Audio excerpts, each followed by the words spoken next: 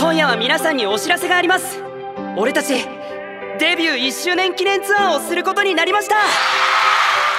年末にはブラック・オア・ホワイトだ。今度は挑戦者を迎え撃つ側になる。行くぞ！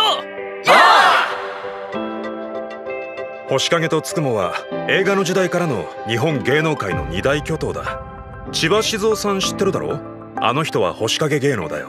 改めてご家族と話し合ってみないか？家族が不仲なのは不幸なことだよ。私たちはまだ1年目。歌方と消えてしまわないように気を引き締めていかないと。なんでアヤもあんたも九条をかばうんだよ。今のところ暴露する気はありませんよ。千葉サロンのことはね。千葉サロン？いつでも君をひそやかに思ってる。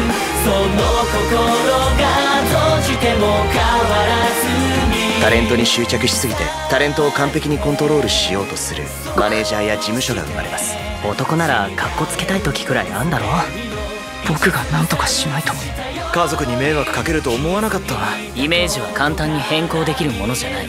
自分のこと否定ばかりしてたらどんどんしんどくなっちゃって自分の中に居場所がなくなっちゃうよ。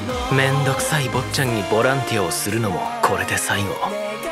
天よりもあの子の方がゼロに似ている思い出をかき消すくらいの明日になれ。簡単ではない言葉を置き手紙に託して去っていった知り合いが一人います。